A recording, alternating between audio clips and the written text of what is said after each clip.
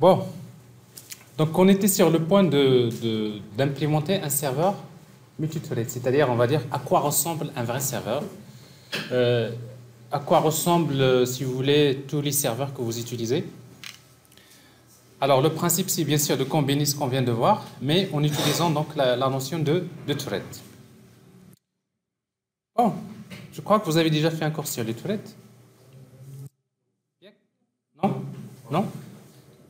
Un peu Un peu. J'imagine que vous avez retenu que le, le, mot thread. Alors, je vais vous rappeler quand même, hein, avant, parce qu'après, euh, il faut quand même euh, que vous, sachiez, que vous ayez euh, au moins une idée sur l'utilisation du thread. Alors, dans, le problème, il est où? Alors, imaginez que vous avez un, une machine avec un seul processeur avec un seul processeur, bon, sachant que maintenant vous pouvez avoir euh, euh, plusieurs machines avec plusieurs processeurs, c'est ce qu'on va appeler des machines parallèles. Ça veut dire quoi Une machine parallèle, c'est une machine qui, qui, peut exécuter plusieurs instructions en même temps. Mais quand vous avez une seule unité de calcul, une unité arithmétique et logique, n'est-ce pas? Ça veut dire que votre euh, application ne peut exécuter qu'une seule instruction à la fois, n'est-ce pas? Alors dans la base, les, les ordinateurs que vous utilisez avant, euh, ils utilisaient souvent euh, un seul microprocesseur.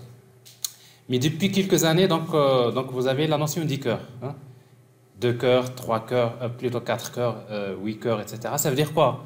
Ça veut dire que quand vous dites quatre corps, si vous voulez, ça veut dire que vous avez quatre unités arithmétiques et logiques. Ça veut dire que votre, normalement, votre processeur, il peut exécuter quatre instructions en même temps logiquement, c'est plus rapide, n'est-ce pas? Alors maintenant, je suis dans le cas où vous avez un, seul, une seule unité de calcul, CPU. Alors dans le CPU, il faut juste pas oublier qu'un un microprocesseur, généralement, il dispose d'une unité, unité, arithmétique et logique pour les calculs euh, arithmétiques et logiques, et vous avez des registres internes. C'est des petites mémoires dans lesquelles euh, il stocke des données pour faire des calculs. Chaque fois que vous lui demandez de faire la somme, la multiplication ou la division, n'importe quel traitement, ce qu'il fait, il va chercher des données de la RAM, il va les mettre dans les registres internes, il exécute des instructions, euh, c'est plutôt, euh, il fait des, calculs, et après il reçoit les résultats des registres, il va les mettre la RAM. Donc ça veut dire souvent, il a besoin toujours, le CPU a toujours besoin d'aller vers la RAM, lire la, donnée d'une variable, la mettre dans les registres internes des microprocesseurs, effectue des calculs arithmétiques, la somme, l'addition, etc., et logique, et le résultat, on le place dans la RAM. Alors ça veut dire que euh, il y a toujours des opérations de lecture et d'écriture euh, qui fait dans la RAM souvent. Alors en tout cas, maintenant, vous avez un système d'exploitation. Après, vous lancez plusieurs applications. Alors, qu'est-ce qui fait maintenant que vous pouvez exécuter plusieurs applications en même temps dans, une même machine qui est mon microprocesseur, c'est-à-dire avec un seul microprocesseur? Qu'est-ce qui se passe généralement? Quand vous lancez une application, vous lancez ce qu'on appelle un, thread principal, ce qu'on va appeler un processus. Alors, pour chaque application, vous lancez un processus. Alors maintenant, dans votre application, vous voulez lancer plusieurs tâches en même temps. Si vous voulez lancer plusieurs euh, tâches en parallèle, ben, pour chaque tâche que vous voulez lancer indépendamment du reste, il faut créer ce qu'on appelle un, thread. Et quand vous créez un thread,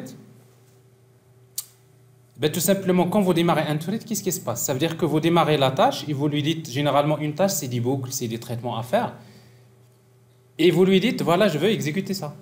Alors, qu'est-ce qui se passe? Vous avez plusieurs applications qui créent des threads, qui vont demander au système d'exploitation, chaque thread a besoin d'utiliser le CPU. Chaque tâche a besoin d'utiliser le microprocesseur pour faire des calculs arithmétiques et, logiques. Parce que de toute façon, c'est le microprocesseur qui exécute les instructions, n'est-ce pas?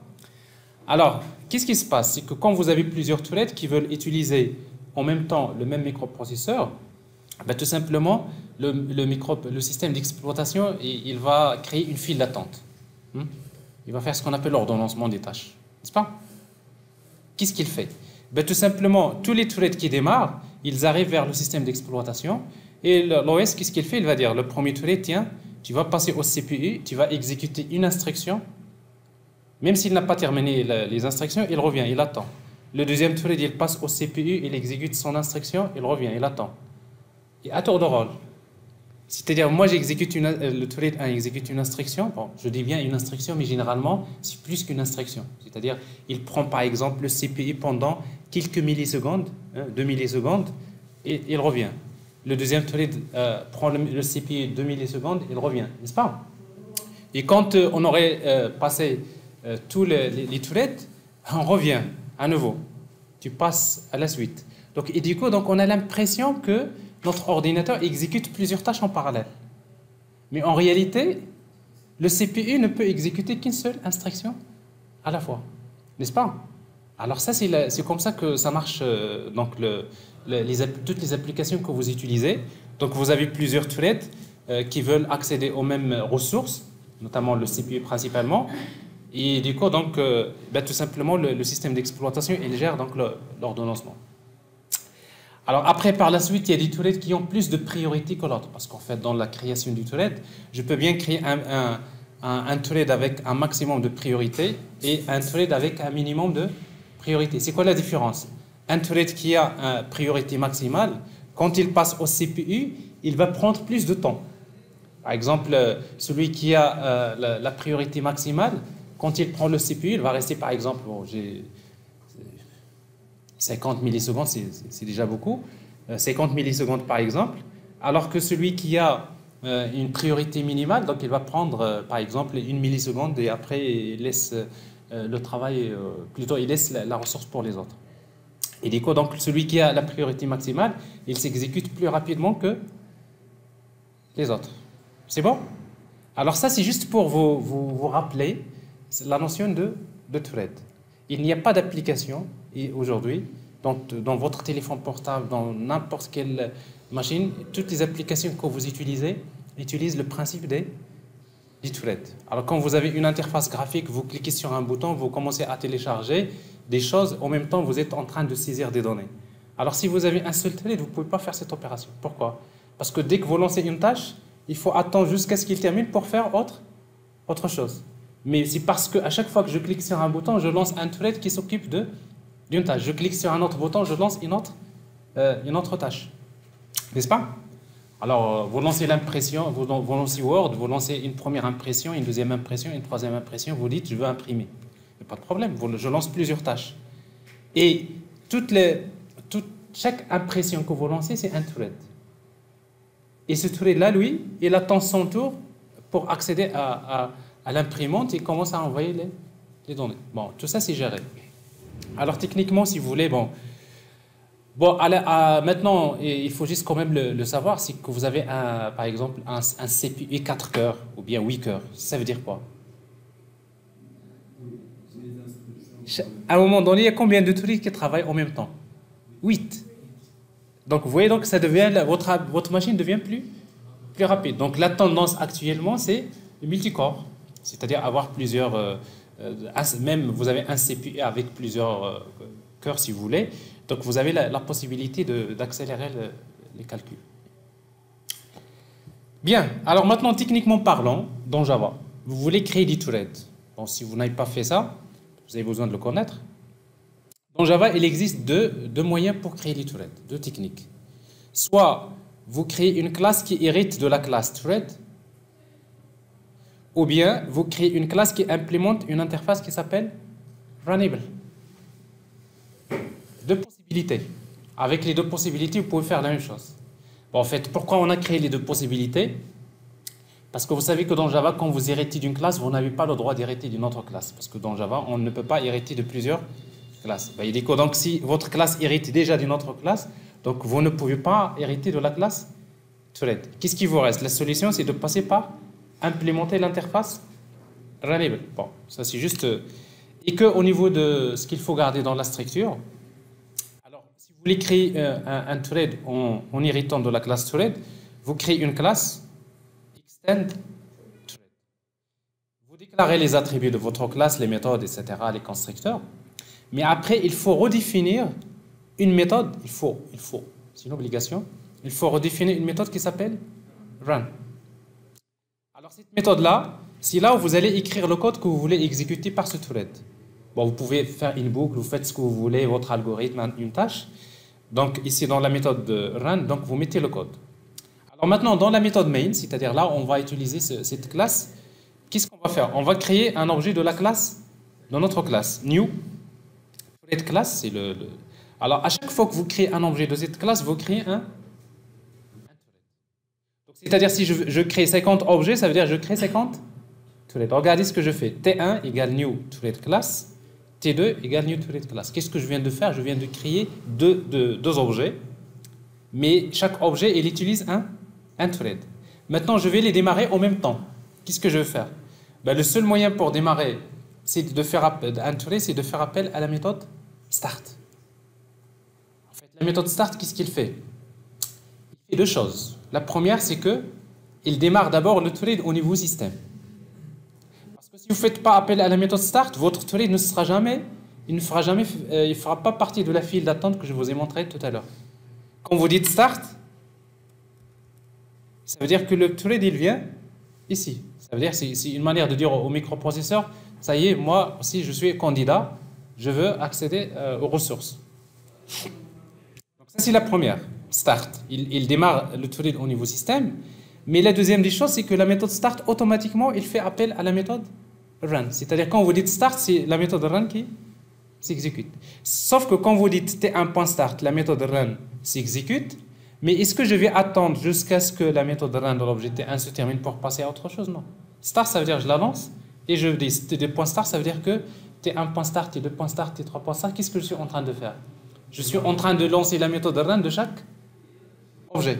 Et du coup, donc chaque, chaque objet, il travaille en même temps, c'est-à-dire d'une manière parallèle. Vous voyez le, problème Alors ça, si vous voulez, techniquement parlant, ce qu'il faut garder en, tête, c'est que si vous voulez créer un thread, euh, en principe, en héritant de la classe thread, c'est comme ça qu'on fait. Maintenant, si vous voulez le faire en implémentant l'interface Runnable, voilà ce qu'il faut faire. Vous créez une classe qui implémente l'interface Runnable. Vous déclarez ce que vous voulez dans votre classe et après la même chose, vous redéfinissez la méthode Run. Jusque-là, il n'y a pas une grande différence. La différence, c'est au niveau de l'utilisation. Dans la méthode main, je crée un objet T1 et je crée un objet T2. Alors, le fait de créer un objet de la classe thread class, je n'ai pas encore créé les threads. Pourquoi? Parce que maintenant, la classe n'hérite pas de la classe thread. Donc, si vous voulez maintenant euh, démarrer un thread pour chaque objet, voilà ce qu'on va faire. On va utiliser new thread. Il faut d'abord créer un thread. Et qu'est-ce qu'on lui donne comme paramètre? L'objet T1, c'est-à-dire je démarre un thread qui va utiliser l'objet T1. Et j'appelle la méthode start. Ça veut dire je crée un thread, je le démarre. Et lui, qu'est-ce qu'il va faire? Il va exécuter la méthode run de l'objet T1. Et la même chose, new thread T2. Start. Je crée un autre thread qui va s'occuper de l'objet T2. Et c'est comme ça que je peux lancer plusieurs threads. Alors techniquement parlant, la première technique, c'est on se base sur l'héritage. La deuxième technique se base sur la composition, c'est-à-dire l'instanciation.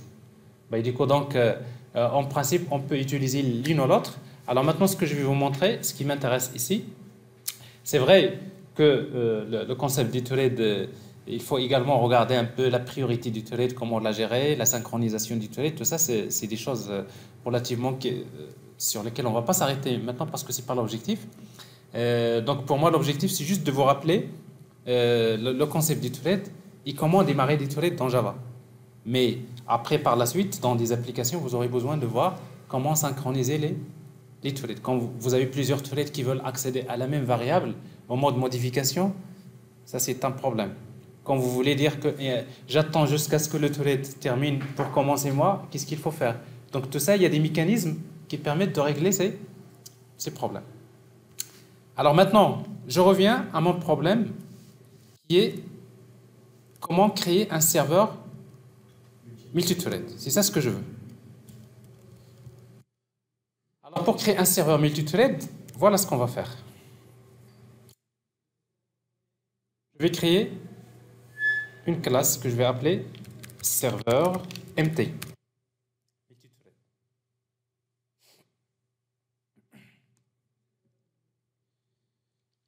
Alors pour euh, ce serveur-là,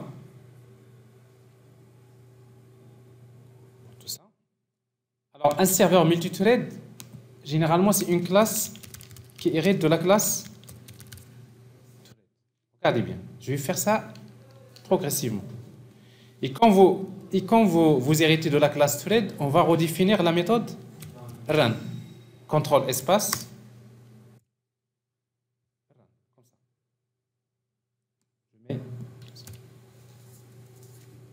Alors maintenant, quand vous exécutez cette classe, va s'exécuter en premier lieu C'est la méthode main, n'est-ce pas? Maintenant, dans main, qu'est-ce que je vais faire? Je vais faire new serveur mt start. Alors, qu'est-ce qui va se passer ici? New server mt. Quand je dis new server mt, automatiquement, je crée un, un thread. Et quand je dis start, ça veut dire quoi? Ça veut dire qu'il va faire appel à la méthode? Ça veut dire que tout le reste de mon serveur, je vais le mettre à l'intérieur de la méthode. Et là, j'ai démarré un thread. C'est quoi l'avantage ici? Supposons que vous voulez faire autre chose. Votre serveur, vous voulez écrire encore du code, des interfaces graphiques, etc. pour euh, gérer autre chose. Est-ce que je suis bloqué là? Quand vous appelez start, vous lancez un, thread, mais vous pouvez faire autre, autre chose. Alors ici, donc, je le laisse comme ça. Maintenant, qu'est-ce qu'on va faire? On va démarrer notre serveur. Il va commencer par l'exécution de la méthode Qu'est-ce qu'on va faire? On va créer d'abord un server socket va démarrer le serveur, c'est server socket ss égale new server socket avec le port 1, 2, 3, 4. Je fais. Alors 1, 2, 3, 4, c'est juste euh, un nombre quelconque. C'est toujours censé mettre 1, 2, 3, 4, surtout s'il est déjà démarré avant. Alors je fais un traquage comme tout à l'heure. Ensuite, Maintenant, nous avons dit que le serveur, pour que ça soit un vrai serveur multithread, la première des choses, c'est que d'abord, l'objet server socket, pour cet objet server socket, on va lui créer un, thread. C'est ce qu'on vient de faire. Dès que notre application démarre, il y a un thread qui est créé spécialement pour s'occuper de la partie, le, partie serveur. Et après, nous avons dit que le serveur doit être capable de connecter le client à n'importe quel moment donné. Comment faire ça? Comment traduire ça? Pas une boucle. On va utiliser une boucle de type while true. Vous savez, la boucle while true, c'est une boucle infinie, il ne s'arrête jamais. Mais souvent, on va mettre un boolean, et, ce boolean-là, on va laisser quand même si on veut arrêter le serveur, euh, etc. Qu'est-ce qu'on va faire? On va utiliser, on va déclarer un objet socket S égale ss.accept. Alors si vous le laissez comme ça, ça veut dire quoi? Le serveur, il attend une connexion. Dès qu'il y a un client qui se connecte, il génère une, une socket connexion. Il revient, accepte. S'il y a un autre qui veut se connecter. Donc j'ai déjà réglé le premier problème. C'est-à-dire mon serveur maintenant, il est capable d'attendre une connexion à n'importe quel moment donné. Si vous le laissez comme ça, c'est un serveur multithread. Enfin, c'est un serveur qui est capable de connecter. Ce problème maintenant, il, il sait que connecter le, les applications, ça ne sert à rien de connecter les applications, euh, mais il faut leur dire quand même quelque chose. Il faut dialoguer, il faut parler. Qu'est-ce que tu veux hein, C'est comme si vous avez quelqu'un qui a un téléphone, les gens l'appellent, il dit OK, il laisse le téléphone, OK. C'est-à-dire, euh, mais quand on téléphone quelqu'un, c'est parce qu'on a besoin de lui poser une question et on attend une réponse. Donc, euh. Alors maintenant, qu'est-ce qu'on va faire? Il reste la deuxième partie. La deuxième partie, c'est que à chaque fois qu'il y a une connexion, il faut démarrer un nouveau thread. C'est bien ça. Pour chaque connexion, on génère une socket. Et pour chaque euh, connexion, il faut créer un, un thread. Alors maintenant, pour chaque connexion, dans la, boucle, on va créer des, des threads. Comment? Alors pour créer des threads, donc nous avons euh, soit qu'on crée un objet de la classe thread et on fait le, euh, c'est-à-dire on implémente l'interface Runable, soit encore on va créer un objet d'une classe qui hérite de la classe thread. Alors moi pour faire plus simple, je vais créer un objet d'une classe que je vais créer, que je vais appeler conversation. Et je vais appeler la méthode start. Conversation.start.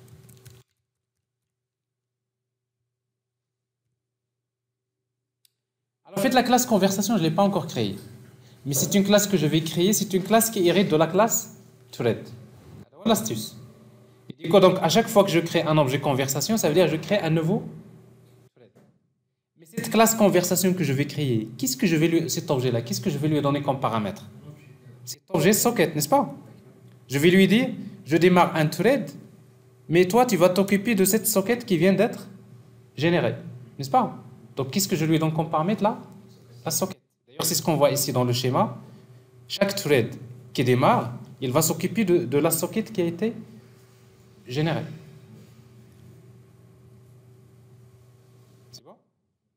Maintenant, il nous reste maintenant euh, le reste de l'application, c'est qu'il nous faut créer une classe conversation qui hérite de la classe thread. C'est dans cette classe-là que je vais gérer les trucs input stream, output stream, etc., requête, réponse.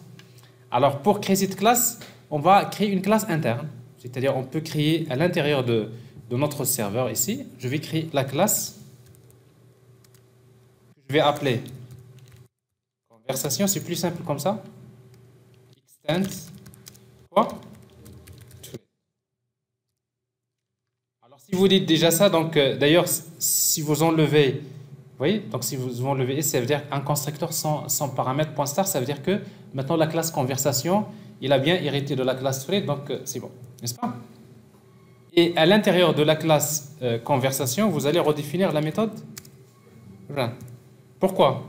Parce que quand quand vous appelez la méthode start, automatiquement, c'est la méthode run qui va s'exécuter. Ça veut dire que où est-ce que je vais mettre input stream, output stream et tout ça, c'est à l'intérieur de la méthode c'est ici que je vais gérer la conversation. Alors pour cela, pour maintenant, cette classe, il a besoin quand même de la socket, n'est-ce pas? C'est pour cela, il faut lui transmettre cette socket comme paramètre. C'est pour cela, il faut déclarer ici un attribut dans cette classe de quel type? De type socket. Socket. Il nous faut un constructeur avec paramètres, n'est-ce pas Qui reçoit la socket. Alors ce constructeur-là, on peut le générer. Générer un constructeur avec paramètres, c'est-à-dire using fields. Il y a un seul paramètre socket, j'ai mal écrit ça. Socket. Je vais générer le constructeur paramètre qui est là. Ouais, donc, donc je n'ai pas besoin de, la mettre. Donc, qu'est-ce que j'ai ici? Donc, donc, quand je mets new conversation S, ça veut dire que je donne la socket. Et cette socket-là, je vais dire 10.socket égale. Et ça, c'est le paramètre S. Et là, c'est S. Ici, donc, j'ai ma socket. Alors maintenant, du moment que j'ai ma socket, ben, tout simplement, le, euh, mon, mon, thread, il va générer les objets input stream. Qu'il a besoin de communiquer input stream is égale, euh, égale la socket. maintenant, si l'attribut s'appelle socket, socket.get input stream, on a besoin de faire un try catch. Puisqu'on est dans alors maintenant, je veux, je veux lire des chaînes de caractères. Je vais créer un serveur qui communique avec du texte. Dans un premier temps, parce qu'on a besoin de, de, communiquer avec le serveur juste avec des textes. Donc j'ai besoin, pour pouvoir lire des, chaînes de caractères, donc je vous rappelle le protocole. Pour pouvoir lire des chaînes de, caractères, il faut quoi Il faut, il faut d'abord créer l'objet input stream reader. Et après, il faut créer l'objet buffered reader. Alors c'est ce que je vais faire. reader ISR égale new input stream reader de quoi? IS. Donc, on paramètre IS. Et après, j'ai besoin de buffered reader BR égale new buffered reader de ISR avec ça, je peux lire euh, les données. Maintenant, je veux envoyer des chaînes de caractères. Donc, c'est output stream os égale socket get output stream. J'ai besoin de print writer. Avec print writer, je peux envoyer une chaîne de caractères pw égale new print writer. Qu'est-ce qu'on va lui donner comme paramètre? OS. Sauf que je, je le disais tout à l'heure, quand vous dites OS, si vous mettez euh, pas ce, flag ici, par défaut, il est égal à false. Alors si vous dites false, ça veut dire que même si vous mettez println, la chaîne de caractères ne va pas être envoyée. Si vous voulez envoyer ligne par ligne, vous mettez ici, euh, vous activez le, le buffer à,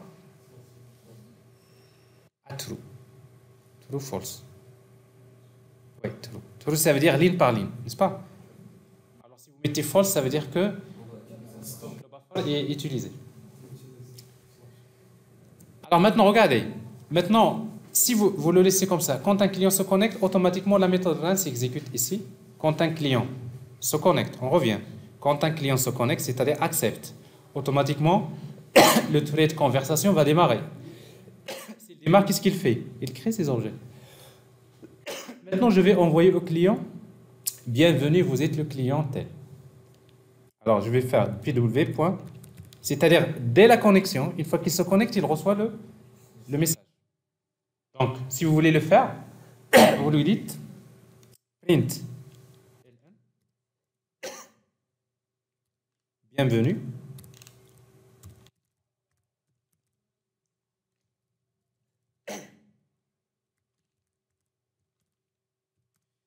Bienvenue, vous êtes le client numéro. Alors, je vais numéroter les clients. Chaque client, parce qu'après, bon, je vais utiliser un numéro. Alors, comment, euh, créer un, compteur qui permet de compter le nombre de, clients? Alors, on peut penser à une variable statique, mais tout simplement ici, on n'a pas besoin. Pourquoi? Vous pouvez déclarer dans votre serveur une variable de type int, pas obligé d'être statique, int euh, np client. Alors, par défaut, sa valeur, c'est 0, n'est-ce pas? Et à chaque fois, à chaque fois qu'il y a une connexion, c'est-à-dire il y a accept. Qu'est-ce que je fais Plus plus? Np client. Alors je viens de créer, donc j'ai un compteur qui me permet de, connaître le nombre de clients. Et du coup, donc chaque, chaque objet conversation que je vais créer, c'est vrai, je lui donne la socket parce que ça c'est obligatoire. Maintenant, je vais lui dire, je vais lui donner comme paramètre le nombre de, de clients. Ouais, le nombre de clients, ça représente pour lui quoi? Ça représente le numéro du client, n'est-ce pas? Ça veut dire que le constructeur dans notre classe conversation, finalement, il a besoin de combien de paramètres, de paramètres. Le premier, c'est la socket. Le deuxième, je vais déclarer maintenant un autre attribut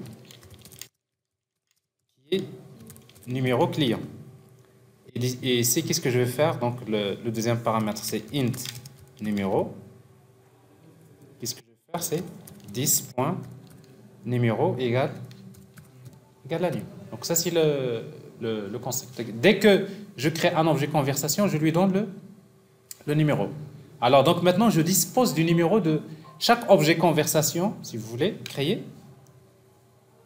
C'est ce, que je vois ici. Pour chaque objet conversation créé, donc j'ai un numéro. Donc ça, c'est le numéro 1, 2, 3, 4, etc. ici, donc, je lui dire, bienvenue, vous êtes le client numéro quoi? Plus numéro. Donc je, connais le numéro. c'est bien de lui dire bienvenue si vous lui dites bienvenue, mais maintenant il faut attendre qu'il vous envoie une requête, n'est-ce pas? S'il vous envoie la requête, vous allez lui envoyer la réponse. Et vous attendez encore la requête. Maintenant, requête, réponse, requête. Ça c'est la conversation. Il dit quand même la conversation elle-même, il faut la mettre dans une boucle. Encore, on va faire while. C'est-à-dire que pour le client qui vient de se connecter, je vais rentrer maintenant, quand vous appelez quelqu'un, vous rentrez dans une conversation. While true, je vais dire string requête, à quoi est égal C'est br.readline, c'est-à-dire j'attends qu'il m'envoie une chaîne de caractères. Et je lui envoie la réponse. Maintenant, on te dit, pense qu'on veut. Supposons qu'une fois que je reçois une chaîne de caractères, je vais lui répondre avec le nombre de caractères de la chaîne. Qu'est-ce que je vais faire?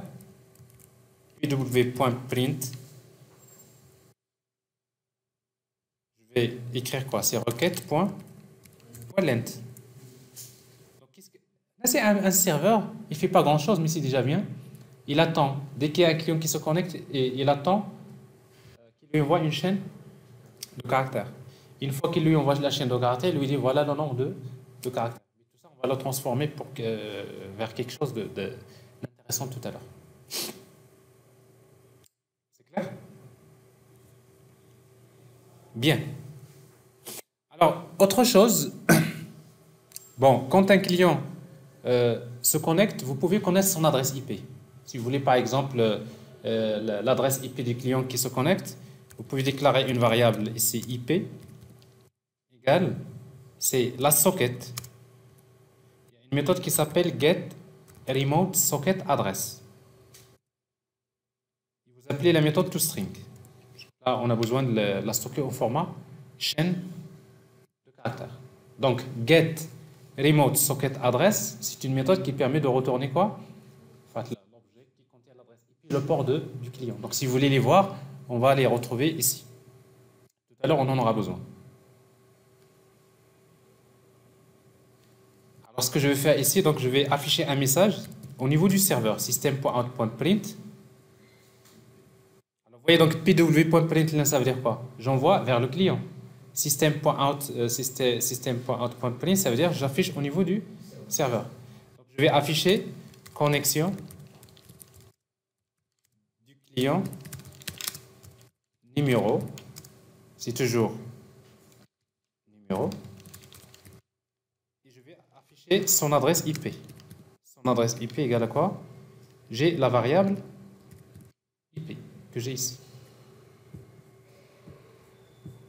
Bon, je viens de vous montrer euh, un, serveur. À quoi ressemble un serveur? Tous les serveurs que vous allez créer, ça c'est la, base. N'importe quel serveur qui a été créé, c'est à base de ça. Mais après, les particularités de chaque serveur, on va les voir tout à l'heure. On va tester. Alors pour tester ce serveur-là, qu'est-ce que je vais faire? Donc je vais d'abord démarrer le serveur, Java. Euh, il y a quelque chose qui... Je dois afficher quand même un message ici. Euh, démarrage du serveur quelque part, bon, ici. Système.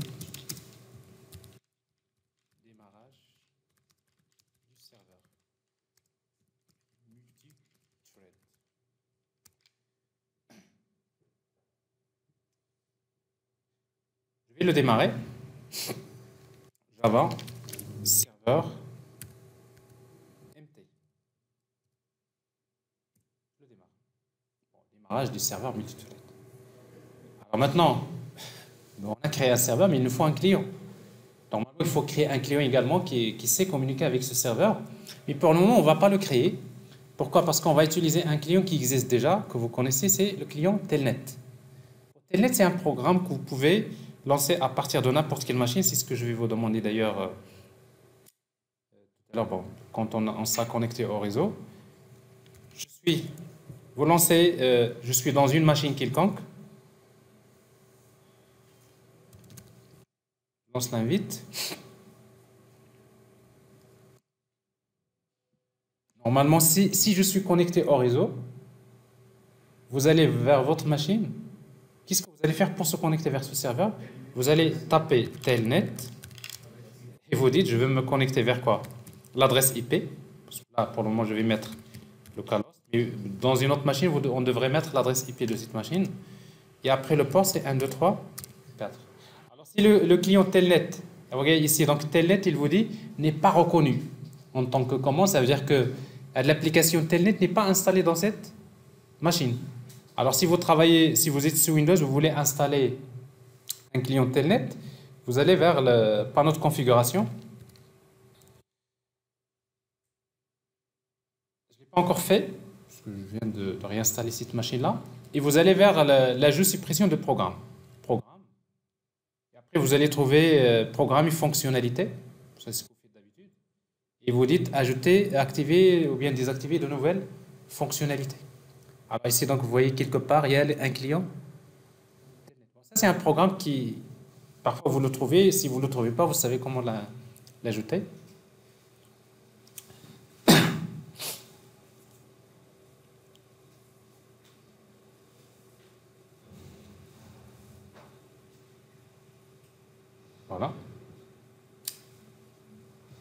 Je reprends. Telnet. 1, 2, 3, 4. Alors, regardez, vous êtes le client numéro 1. Ici, au niveau c'est connexion du client numéro 1. Avec l'adresse IP, il n'y a que des zéros, mais je vois même le numéro de port, hein, n'est-ce pas? De, de, cette application. pourquoi? Parce que je suis euh, suis pas en, en réseau.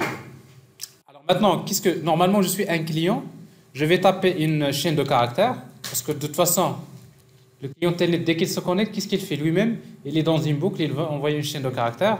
J'envoie la chaîne et je, n'ai rien reçu. Alors regardez. Alors, ça veut dire qu'il y a un petit problème. Alors, je vais vous montrer c'est quoi le problème. J'imagine qu'il y a un petit problème. Mais par contre, ce qui est important, c'est que, est-ce que je peux me connecter encore?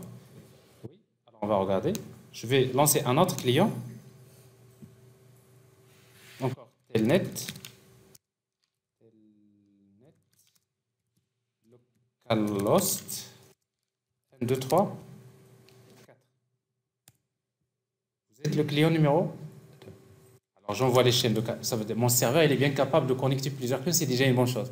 Mais par contre, j'ai quelque chose qui ne marche pas quand j'envoie la chaîne, je ne vois rien. Alors si je reviens ici, je vois quelque chose que j'ai commise. Regardez. Vous dites print. Print, ça veut dire quoi? Ça veut dire que vous n'avez pas envoyé le caractère de fin de ligne. Avec print line, ça veut dire que vous envoyez une chaîne avec un caractère de fin de ligne. Donc, si vous n'avez pas utilisé euh, print line, bah, tout simplement, la chaîne ne sera pas. Oui, parce que euh, ici, on envoie ligne par. Ça veut dire que pour lui, il n'a pas encore reçu le, caractère de fin de ligne. Alors, je vais enregistrer. Je vais redémarrer le serveur.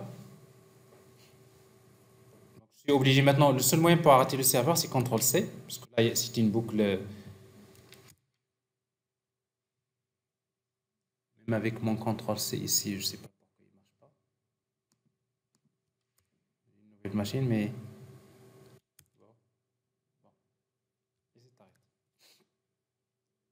Je redémarre le serveur. Je démarre le premier client. Donc vous voyez donc euh, déjà quand j'ai arrêté le serveur, le telnet il a affiché perte de connexion. C'est normal, la socket est fermée de l'autre côté. L'autre il est informé qu'il y a un problème de connexion. Donc je vais donc ça c'est le premier client. J'envoie une chaîne de caractères. Je reçois ici 7. Là, la même chose. Je me connecte. C'est le client numéro 2. Vous voyez, donc, par hasard, c'est 7. Alors, j'envoie quand même des choses différentes. Donc, ça, c'est 13. Je lui envoie il a quand même, si vous voulez, on va afficher ici côté serveur à chaque fois que le client, euh, c'est-à-dire la requête système.out.println, parce que là, il n'y a, pas grand, chose à, traiter. Donc, euh, le client euh, avec son adresse IP, par exemple IP,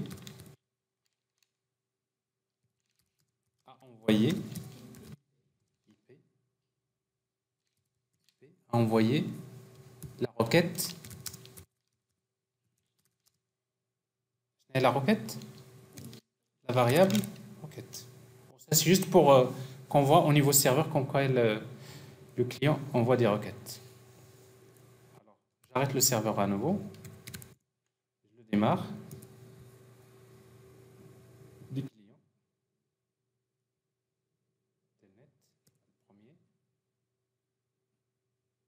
Telnet, le deuxième.